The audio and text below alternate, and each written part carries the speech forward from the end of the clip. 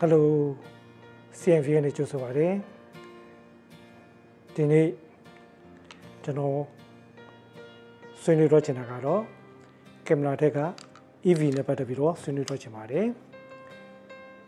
ကျွန်တော်တို့ဓာတ်ပုံရိုက်တဲ့အခါမှာကင်မရာထက်က EV ကို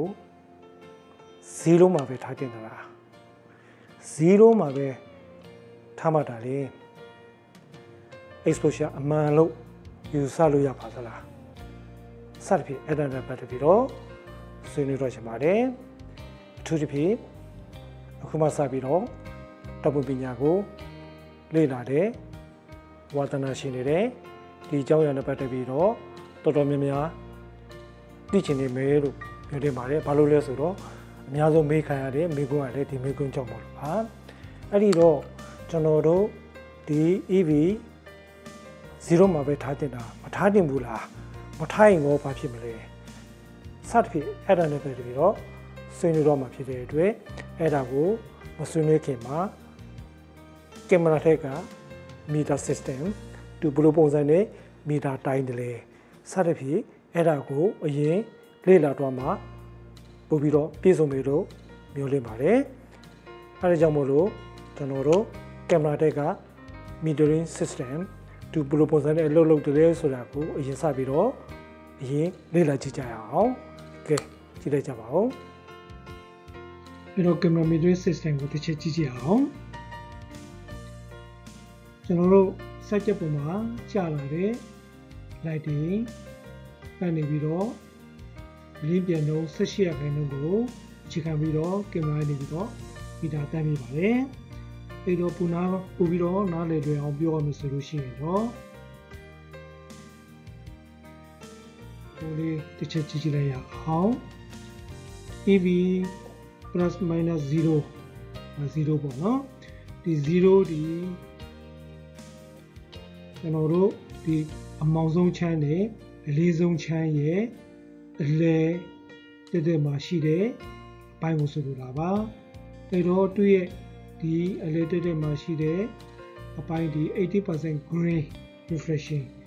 ရှိတဲ့အတွက်80% gray လို့ခေါ်ကြတာပါအဲတော့ပုံမှန်ဆိုလို့ရှိရင်တော့ကျွန်တော်တို့ဒီ EV -0 မှာထားပြီးတော့မှကင်မရာကို exposure တိုင်းယူခိုင်းပြီးတော့တိုင်းပြီးတော့တပုံရိုက်ကြတာပေါ့အဲဒီတော့ကျွန်တော်တို့က EV 0မှာထားပြီးတော့ ကင်မရာကိုမီတာတိုင်ခိုင်းပြီးတော့ဓာတ်ပုံကိုရိုက်မယ်ဆိုလို့ရှိရင်ဘယ်လိုဖြစ်သွားမလဲဆိုတော့တစ်ချက်ဆက်ပြီးတော့လေ့လာကြည့်ကြရအောင်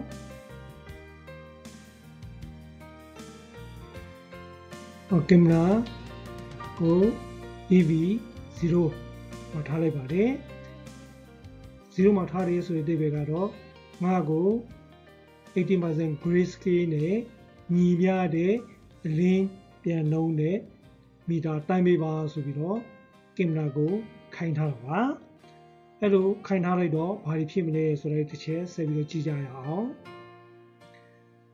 ကျွန်တော်တို့ရိုက်မဲ့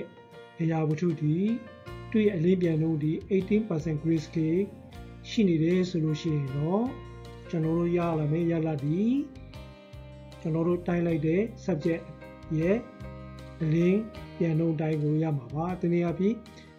gray ဆိုလို့ရှိရင်တော့ gray တိုင်းပဲရမှာပါဒီမှာဆို gray scale တိုင်းပဲကျွန်တော်တို့ရလက်ကိုရမှာပါတကယ်လို့18% gray scale တဲ့ရန်လေးအလင်းပြန်လို့ဖြူအောင်လေးဆိုလို့ရှိရင်ပေါ့ဘယ်လိုဖြစ်သွားမလဲဆိုလို့ရှိရင်ကျွန်တော်ကင်မရာကို EV0 မှာထားထားပြီးတော့တိုင်ခိုင်းထားတာဖြစ်တဲ့အတွက်သူက18% grayscale နဲ့ညီအောင်သူကနေပြီးတော့ photo အလုပ်လုပ်ပေးလိုက်တာဖြစ်တဲ့အတွက်အဖြစ်အောင်က gray အတိုင်းထွက်သွားတာပေါ့ဖြူဖြူတိုင်းမဟုတ်တော့ဘဲနဲ့ gray အတိုင်းထွက်သွားပါလေနောက်ပြီးတော့အမဲရောင်ဆိုရင်ကောအမဲရောင်ရဲ့အလင်းပြန်လုံးကြတော့80% grayscale တဲ့အလင်းပြန်တော့ပိုးပြီးတော့နည်းတော့ပါပြီအဲတော့ကျွန်တော်တို့က EV ကို0မှာထားပြီးတော့80% grayscale နဲ့ညီအောင်တိုင်းသားခိုင်းတာဖြစ်တဲ့အတွက်မဲရောင်ဒီသူကနေပြီးတော့နားလည်မှုလွဲမှားပြီးတော့ exposure ဆွဲတင်လိုက်တဲ့အနေနဲ့ 18% grayscale ရဲ့ရလဒ်ကိုရလာတာပေါ့အဲ့လိုပုံစံနဲ့သူကနားလည်မှုတွေလွဲမှားတတ်ပါတယ်အဲ့ဒီတော့ကျွန်တော်တို့ပို့ပြီးတော့ရှင်းသွားအောင်လက်တွေလေးတစ်ချက်ရေးကြည့်ကြရအောင်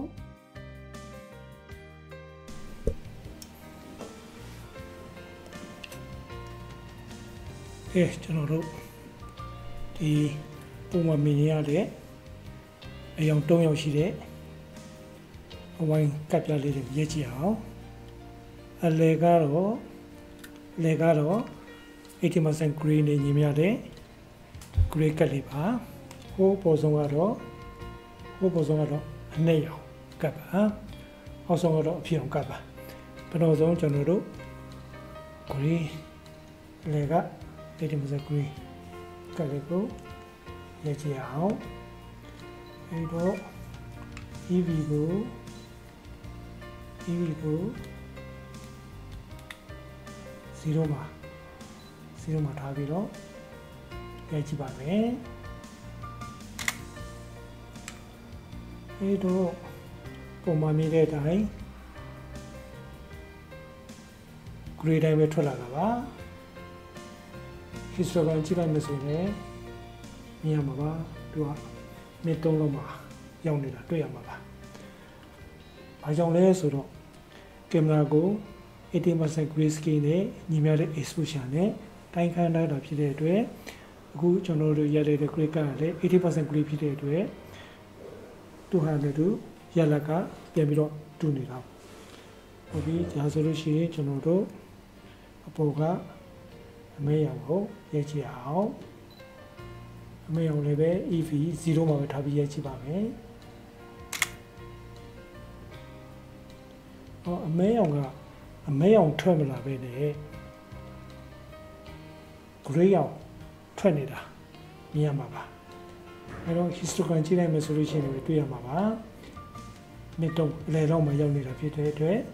ဒါတေချာပါတယ်အမဲရောင်ထွက်မလာဘူးဆိုတာပေါ့နော်အဲတော့အမဲရောင်ကိုအမဲရောင်နဲ့ထွက်လာအောင်ဆိုရင်တော့ကျွန်တော်တို့ကဘာလုပ်ရမလဲဆိုလို့ရှိရင်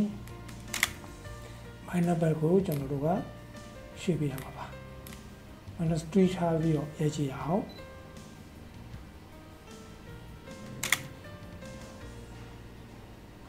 အဲ့တော့ minus 3မှာထားလိုက်မှဒါလေအမဲရောင်ကအမဲရောင်တိုင်းထွက်လာတယ် histogram ကြည့်လိုက်မယ်ဆိုလို့ရှိရင်လည်းတွေ့ရမှာပါဘယ်ဘက်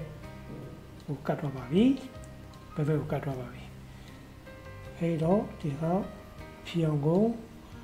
ဖြီအောင်ကိုကျွန်တော်တို့ရေးကြည့်ရအောင် 0မှာထားပြီးတော့စုကံကိုကျွန်တော်0မှာထားပြီးတော့ EV ကို0မှာထားပြီးတော့ရေးကြည့်ပါမယ် EV 0ပါအဲ့တော့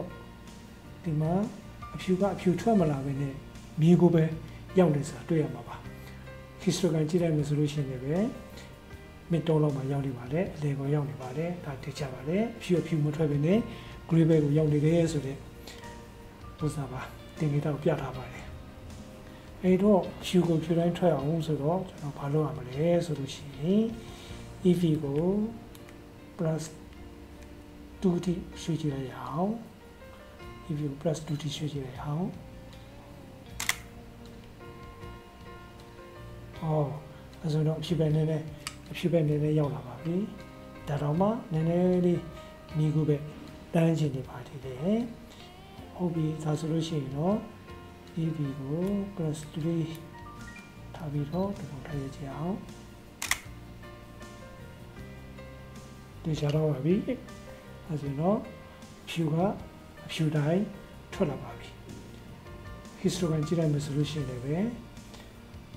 ညာဘက်တောင်ဘက်ကိုကတ်ထွက်ပြီးဖြစ်တဲ့အတွက်ဒါကတေချာတော့ပါပြီအဖြူကိုအဖြူတိုင်းထွက်ထွက်လာပြီဆိုတဲ့ တင်ကြတာလေးပါဒါကတော့ကင်မရာရဲ့မီတာလှုပ်ဆောင်ချက်တွေရဲ့နားလည်မှုလွှဲမှားတာကိုကျွန်တော်တို့က EV နဲ့ပြင်ပြီးတော့ထင်ချိုးရတယ်ဆိုတဲ့တိတ်ပေလေးပါ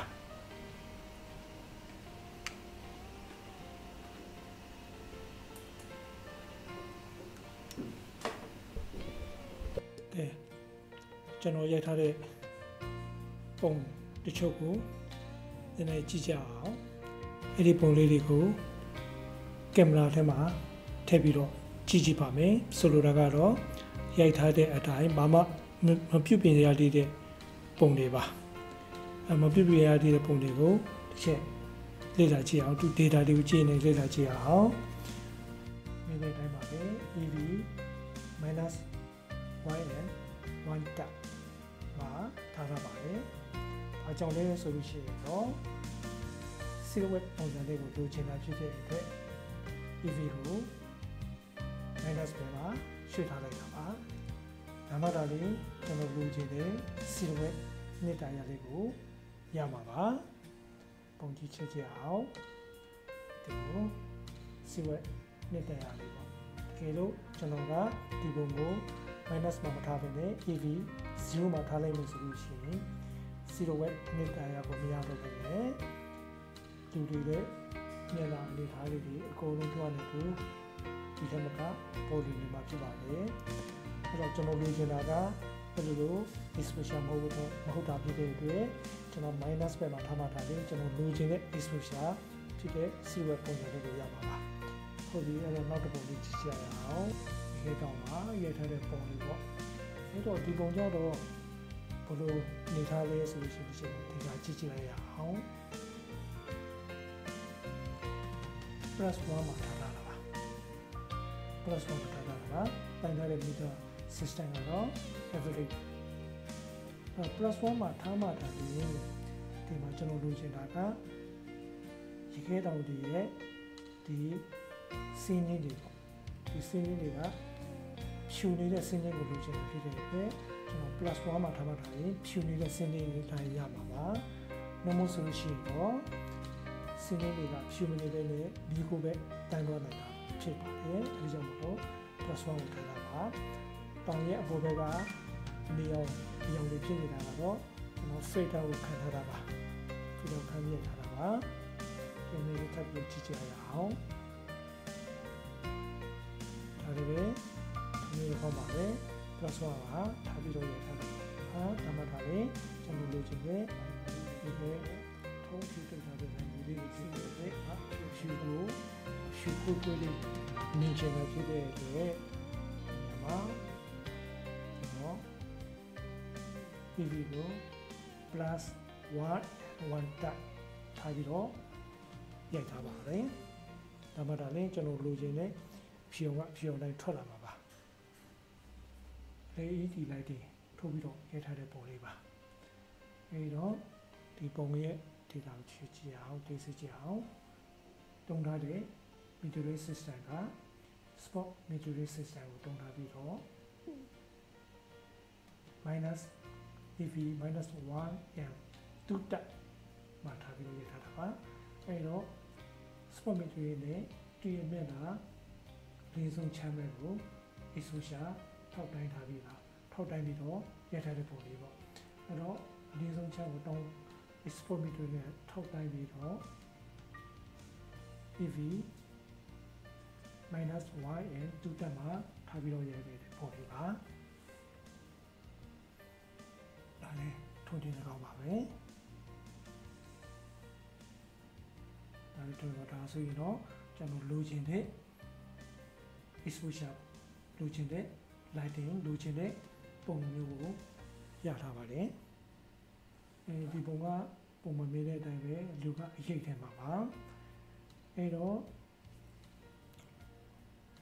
တုံထားတဲ့ metering system က smart metering system ပါအဲတော့ဒီပုံကိုကြည့်လိုက်မယ်ဆိုလို့ရှိရင်တော့ smart metering နဲ့အဲရိတ်မှာကြာနေတဲ့ဒီ model ဒီမီလေးရဲ့မျက်နှာဘက်ကို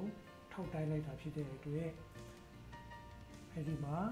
exposure က2အမှန်ယူလိုက်တယ်။မှန်ယူလိုက်ပြီးတဲ့အပြင် plus y and 2တက်ပဲကိုထပ်ပြီးတော့ရွှေ့လိုက်တာဖြစ်တဲ့အတွက်ဟိုးနောက်ဘက်ကခုနရှုပ်ထွေးနေတဲ့အပြင်ဘက် lighting ကျနေတဲ့ဘက်ကအဲ့ဒီဘက်ကအချမ်းတွေကအကုန်လုံးဘန်းထွက်တော့ပြီးတော့အကုန်လုံးဘန်းထွက်တော့ပြီးတော့ဘာမှမမြင်ရတော့ပါဘူး။အဲ့တော့အရေးဘက်မှာကျနေတဲ့ model ရဲ့မျက်နှာအနေထားလေးတွေကအကုန်လုံးပေါ်လာတာ